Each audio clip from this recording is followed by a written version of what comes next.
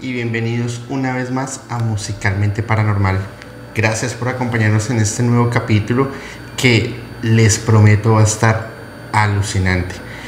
De por sí me costó mucho trabajo escribir los guiones porque la atmósfera que se dio durante la investigación se volvió bastante tensa con, con algunas de las historias. Eh, y bueno, ya, ya, ya, ya me podrán entender cuando vayamos desarrollando un poco más a fondo lo que traemos preparado para el día de hoy. Eh, les tengo una magnífica noticia. Esta semana llegamos a los primeros mil suscriptores al canal de YouTube, lo cual para mí y para la gente que, que me ha apoyado ha sido un éxito total. En serio, mil y mil gracias. No, no me caben las palabras de agradecimiento y esto lo único que me invita es a traer cada vez material más preparado, con, con, con, un poco más de misterio, con un poco más de explicaciones, pero sobre todo despertarles ese sentimiento de, de querer descubrir cosas nuevas. Los invitamos nuevamente a que sigan nuestro perfil en Instagram y TikTok.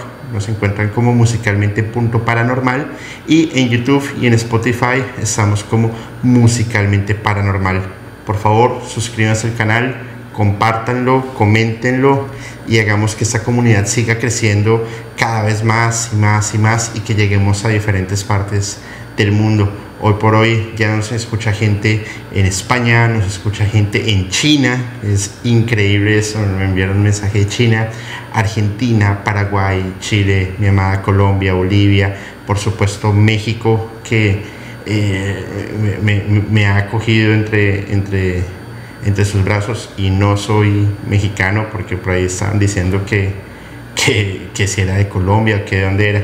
Y bueno, pues acá estamos y vamos a iniciar con este cap tercer capítulo, esta tercera entrega que se llama Terror y Atención. Eh, y en las anteriores entregas habíamos hablado un poco sobre cómo el black metal había ido evolucionando eh, a medida de los años, desde que Venom hace su entrada con, con un tema más de, pues entra al ruedo con un comportamiento de algo de violencia, pero no tan fuerte como, como ya la onda del, del, del black metal o, o, o, de un dark metal que, que, que tiene sonidos más, más pronunciados. ¿sí?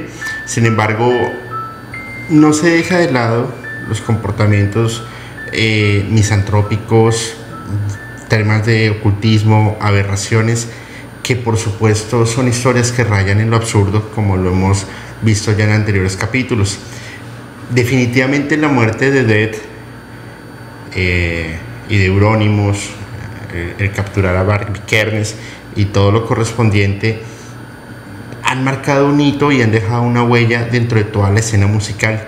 Sin embargo, estas no son las únicas historias aberrantes que vale la pena destacar y lo hablaremos en, en, en, en, futuras entregas cuando veamos los casos, por ejemplo, de Gorgoroth o Anna Barney, que a pesar de que no, no, no es black, genera una atmósfera bastante complicada y densa de, de, de, explicar. Un subgénero que ha dado mucho que hablar durante, durante la escena musical ha sido el Black Doom o el Depressive Suicidal Black Metal, eh, y sus canciones no solamente están cargadas de mensajes anticristianos, sino con mucho dolor, una atmósfera densa, pesada, llena de oscuridad, que definitivamente lleva a los oyentes a, a tener pensamientos suicidas, haciendo honor a lo, alusión al, al, nombre de género y a lo que se quiere escuchar.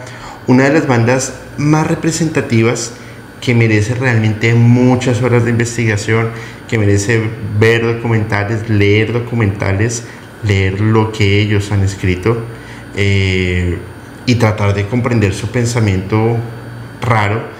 Definitivamente Silencer, que surge en el 95 en, esto, en Estocolmo con un guitarrista de 13 años, muy joven en ese momento, Andreas Casado, y el reconocido y controversial multiinstrumentista, compositor, arreglista, productor, Nate Nathan, con canciones que hablan abiertamente del desprecio a la vida, misantropía, locura que sin conciertos ni apariciones al público por lo menos conocidas se convierten en una banda culto dentro del black metal y dentro del subgénero del eh, black doom. Lanzan su primer álbum en el año 98 llamado Death Is Me con seis canciones y entre ellas ya empiezan a incorporar algo que se conoce hoy por hoy como el dark ambient, además de escucharse los gritos desgarradores de Natram, que cada vez que iba cantando se iba mutilando, se cortaba, se golpeaba, para llevar su voz a niveles extremos y poder expresar de forma más real el dolor y lo que, lo que él quería mostrar en estas canciones. Su canción eh, Nails and Thunderbolts tiene un es un videoclip muy raro y les dejo el link en la descripción del video con cortes de la película de terror experimental Begotten, la cual es, una, es un film que trata la historia del Génesis en un mundo paralelo con un ambiente muy pesado y muy cargado. Eh, una vez lanzan el disco, la banda se disuelve. En las pocas fotografías que, que se conoce en Natram, observamos un personaje con la cara tapada, con cortadas, maquillaje y mucha sangre, la verdad no, no dudo. Pero el detalle que llama la atención y por lo cual es muy reconocido también es porque en vez de manos lleva consigo unas pezuñas de cerdo. Eh, y esto lo vuelve también un poco perturbador, sobre todo si se tuviese la oportunidad de verlo en vivo, considero que podría dar un poco de, de temor pero el, cómo se ve este personaje no es lo que lo vuelve protagonista. Ni siquiera el, desgarrar su voz a través del dolor para generar un ambiente lúgubre o, el misterio que encierra el por qué no tenía esas apariciones en público, sino lo que vuelve bizarra esta historia eh, es cuando se vuelve, se disuelve, perdón, Silencer. Em, bueno, el guitarrista toma un camino, un camino diferente, pero sigue dentro de la, dentro de la onda del black metal. Pero Nate Nate Natram no, no toma ese mismo rumbo. De por sí no se tienen datos exactos de dónde nació, cuál es su edad, el nombre de sus familiares. Esto se ha mantenido de, dentro de una forma hermética por alguna extraña razón. De por sí no se tiene veracidad si los hechos de Natram, algunos de los hechos que se narran, son verídicos o no. Lo que se sabe es que una vez se disuelve Silencer, él es recluido en un, sanatorio mental en Estocolmo,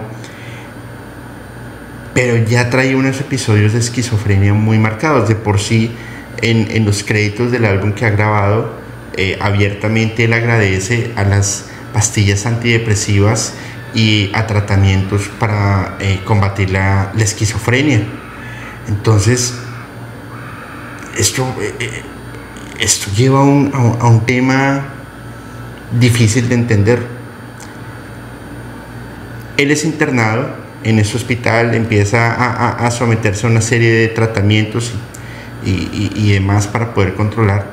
Sin embargo, logra escaparse del hospital y deja una nota muy corta, la cual las enfermeras al encontrarlo tuvieron un choque emocional muy fuerte y de una vez acudieron a la policía.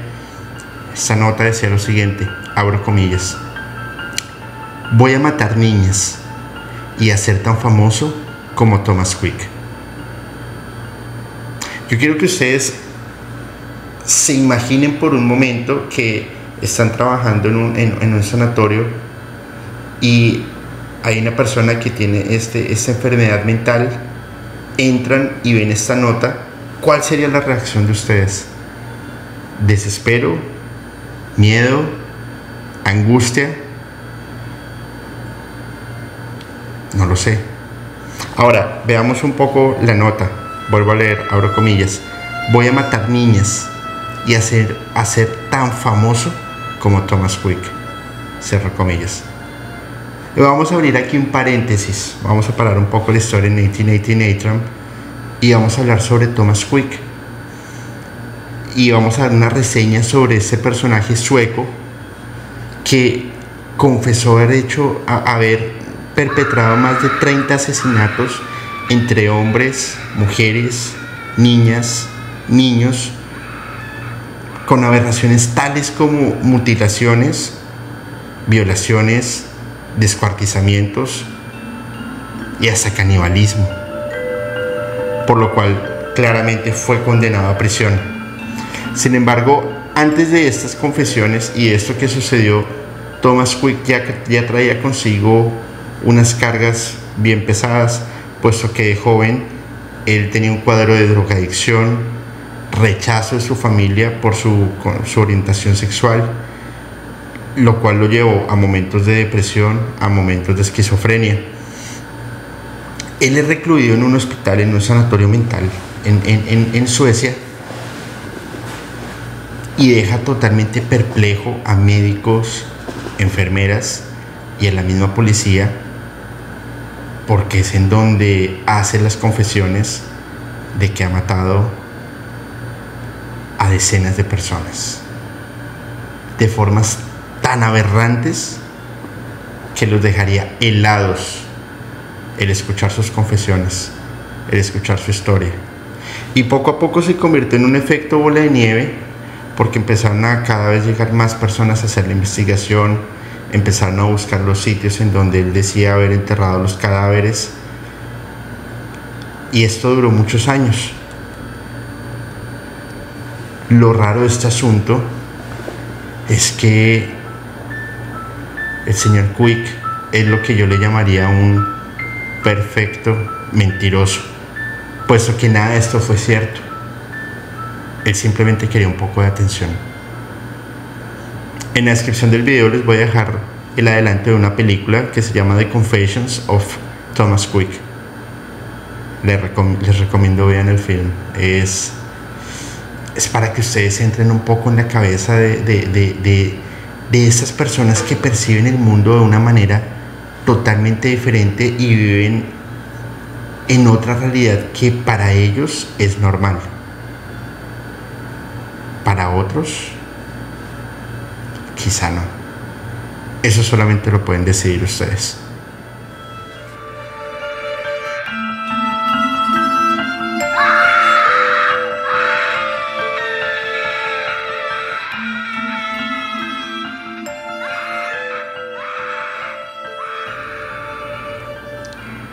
Ahora, volviendo a la historia de Nate Nate Natram y qué sucede, pues efectivamente escapa del hospital psiquiátrico, pero él sí fue a cumplir su promesa y encuentra una niña de 6 años y con un machete la ataca y le da en la cabeza, lo cual afortunadamente no le no le produjo la muerte a la menor. Cuando empieza la persecución policial, lo rodean. Él en un tono desafiante le pidió a la policía que lo mataran, que él no merecía vivir. Y fue desafiante. Pero esto no sucedió y lo capturaron y lo regresaron al centro psiquiátrico después de un juicio medianamente corto, porque en ese juicio simplemente se encontró que él era una persona con una, con una enfermedad mental y que ese era el sitio donde él debería estar. Luego de unos años de estar recluido, los médicos y el músico llegan a un acuerdo y es que él iba a hacer música como terapia de rehabilitación con otros enfermos del pabellón eh, psiquiátrico. Y es aquí donde en 2007 lanza otro álbum llamado Transformalin o, Diagnóstico Peligro de Muerte. Un disco acompañado de 11 canciones con una duración de una hora y 8 minutos. Pero yo, yo, les, yo les quiero preguntar algo y quiero que lo piensen. Para ustedes, desde sus ópticas, desde sus perspectivas, ¿qué tan normal o, o qué tan terapéutico es que una persona con un cuadro de esquizofrenia haga su música con otras personas que tengan estos cuadros de, enfermedad mental. ¿Qué tan normal puede ser?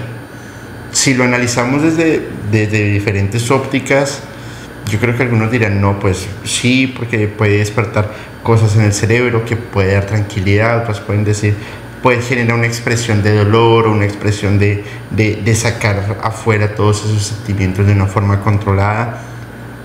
No lo sé, les pido por favor lo dejen en, en, en el chat en vivo en este momento o en los comentarios en, en las diferentes plataformas porque es un tema que realmente se vuelve bastante interesante, ¿no lo creen?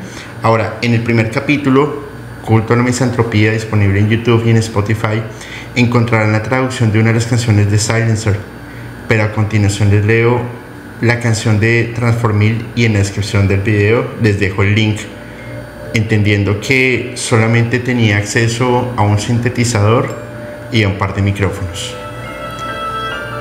Abro comillas. Saquen mis dientes, sonrisa inhumana, pelar de mi piel rompe los huesos debajo.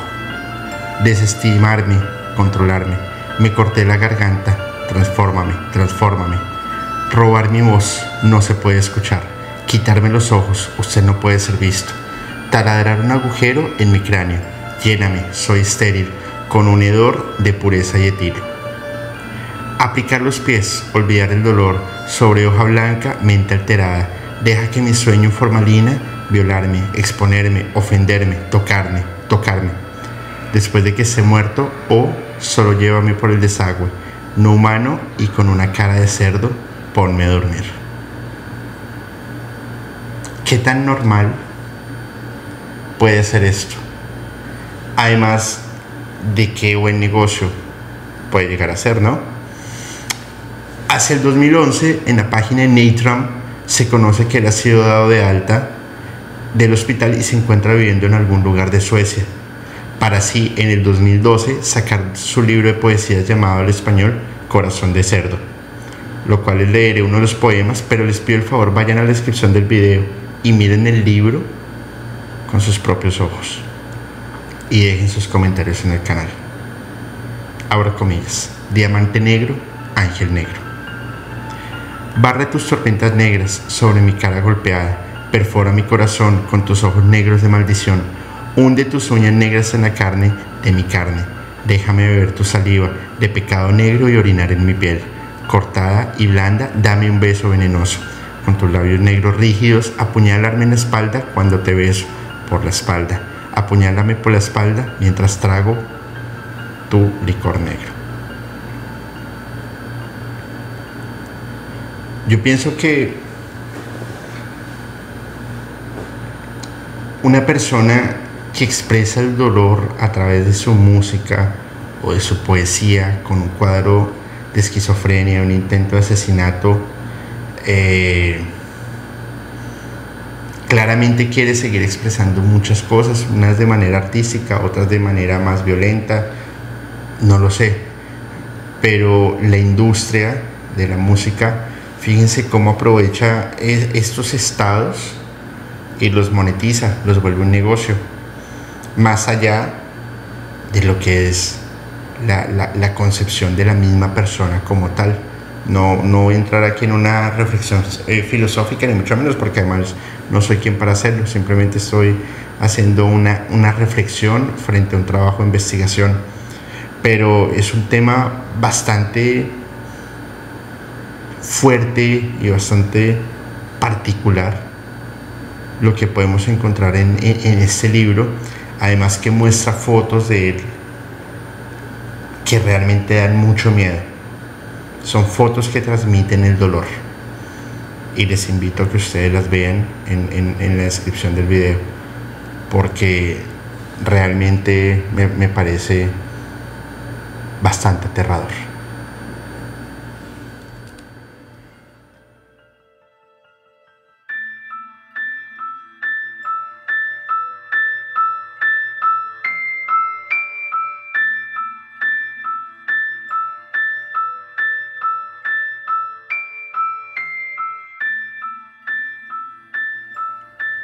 Continuando por, este recorrido de, de terror, de atención. Otra de las bandas cargadas de odio, misantropía, aberraciones sin precedente eh, son los, los, personajes de Stalag, procedentes de Países Bajos, cuya banda está inspirada en la concentración de los campos nazis, a pesar de que vienen de Países Bajos, y agregan a su nombre las letras GH, haciendo alusión a Global Holocaust. Sin embargo, pues esto no es nada de lo, a lo que sí fue su música. Y tuvieron seis álbumes de, de estudio.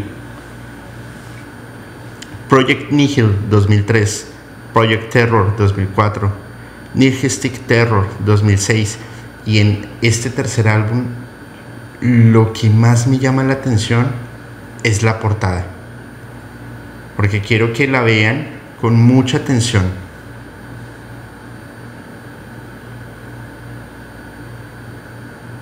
Y yo quiero que se concentren en los ojos de esas personas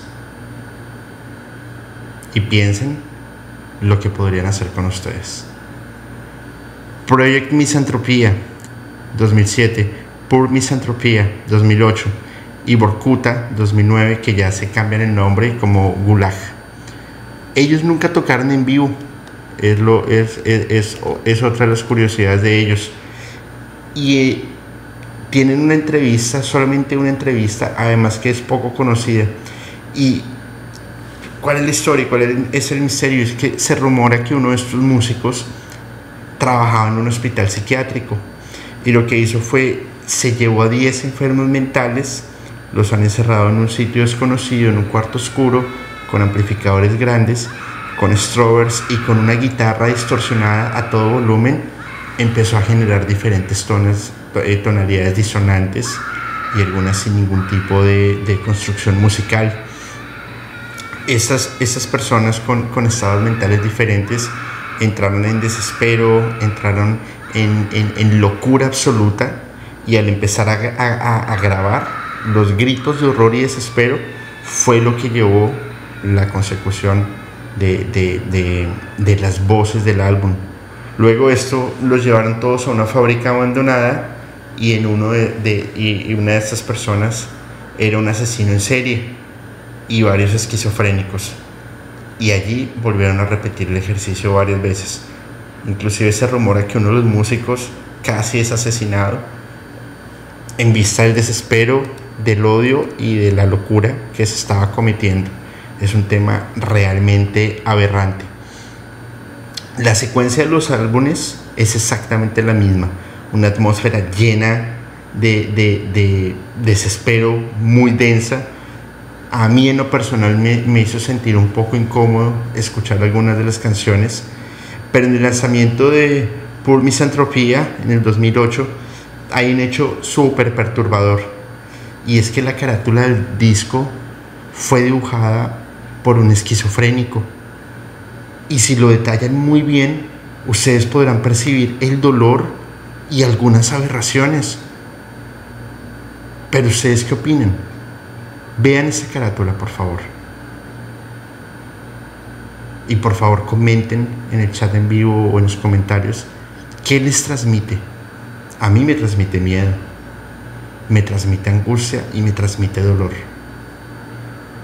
Cómo una persona con esta esquizofrenia puede percibir el mundo y cómo alguien es capaz de hacer esta aberración las pocas palabras que se conocen de, estas de esta banda dicen lo siguiente, ahora comillas. Grabamos a pacientes mentales porque queríamos expresar el odio y el dolor de algunas personas y llevarlas a la realidad para que las sientan. También hemos querido recrear los sonidos de los campos de concentración nazis. Ya ustedes me dirán qué piensan cómo se sentirían.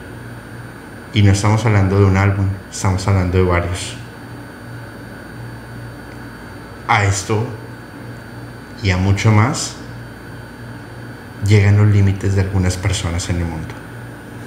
Pero solamente ustedes pueden darse una idea de ello.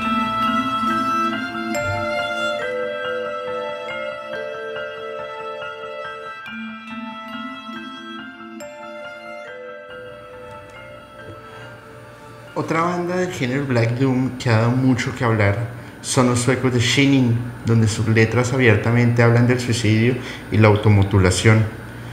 Y ellos mismos lo expresan de la siguiente manera, abro comillas. Por supuesto que apoyamos al suicidio. Shinin apoya todo lo negativo en este bastardo mundo en el que vivimos. Hemos tenido un par de casos en el pasado con personas que han terminado sus vidas bajo la influencia o parcialmente bajo la influencia de nuestro trabajo. Y por supuesto, esa es una verdadera bendición. Sin embargo, oramos por un mayor número de muertes. O cosas aún más aberrantes como la banda de black metal alemán Absurd, seguidores del movimiento nazi que confesaron haber atado y estrangulado con un cable, escuchen, a un joven de 15 años, puesto que él quería pertenecer a la banda, pero ellos decidieron que era un ser indeseable y por eso lo ejecutaron. Y como es, existen historias de bandas que han pasado y que han dado unos casos súper macabros, pero hay otras que llenan de misticismo y que vale la pena estudiar un poco más a fondo, como, es el proyecto noruego, como fue el proyecto noruego de Dark Ambient Agast, o en español horrorizado o espanto, trayendo a flote la mitología griega y temas de oscurantismo, además que lograban unir la música con temas de arte gráfico, arte visual. La, la, la música que, que, que ellas podían hacer rodeaban una atmósfera totalmente demoníaca, oscura, por muchos llamados música maldita. Y de invocaciones que en lo personal, se los juro, no lo dudo. Yo les invito por favor a escuchar el álbum que les dejo en la descripción del video con audífonos entre 2 y 4 de la mañana con la luz apagada. Y yo les puedo asegurar que van a sentir como alguien los va a estar observando de cerca. Como la temperatura y el ambiente, la temperatura va a bajar y el ambiente se va a colocar mucho más denso. Les invito a que en este momento miren hacia su lado derecho y van a entender a lo que me refiero.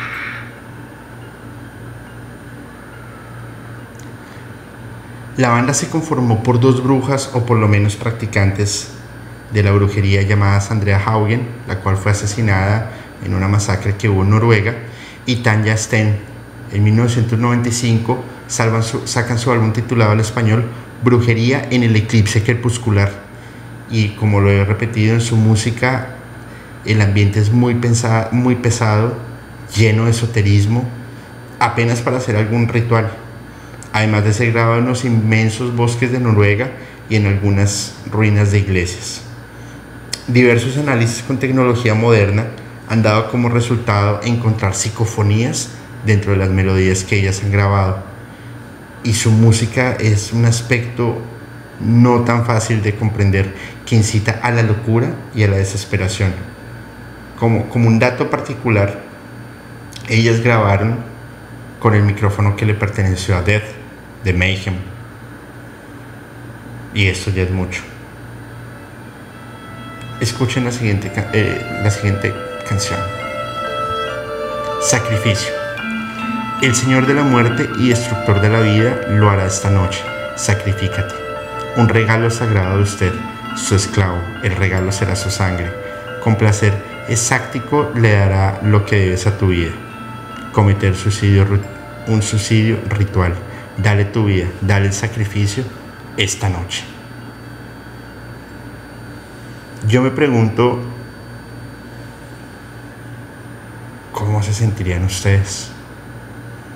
¿Cómo la música logra rodear y generar esta, este, este ambiente Em, sí, generar ese ambiente de terror, de miedo, de pánico, de escepticismo.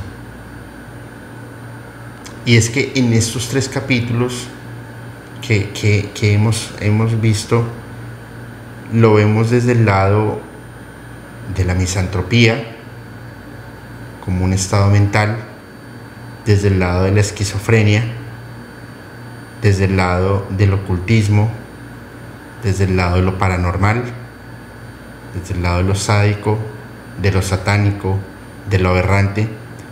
Pero fíjense que todo nos está llevando a un, a un mismo punto y es a volver incomprensible lo que creíamos que era comprensible. Y el, black metal no quiero estigmatizarlo, ni mucho menos, pero muchas personas lo, lo, ven y, me lo han escrito. Es que yo no escucho black metal o no me gusta o es puro ruido, pero hay historia detrás de esto, como detrás de muchos otros géneros. Entonces, la, la reflexión acá sería hasta dónde puede llegar la capacidad humana, hasta dónde puede llegar la creación dentro de la locura, el desespero dentro de la calma. ¿Hasta qué punto quisieran llegar ustedes? Porque aquí solamente hemos hecho la reflexión de algunas bandas. Pero yo estoy seguro que si seguimos investigando, vamos a encontrar historias aún más fuertes.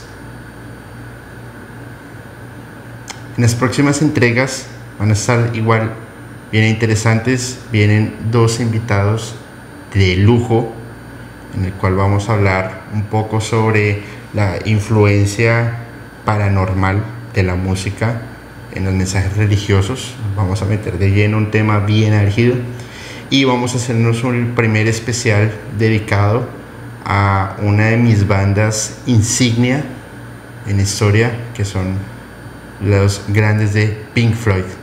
Y se viene un capitulazo, capitulazo, se los aseguro. Eh, por ahora, nuevamente, mil gracias por seguirnos en, en las diferentes plataformas. Espero puedan compartir el video, lo puedan comentar y me dejen sus comentarios.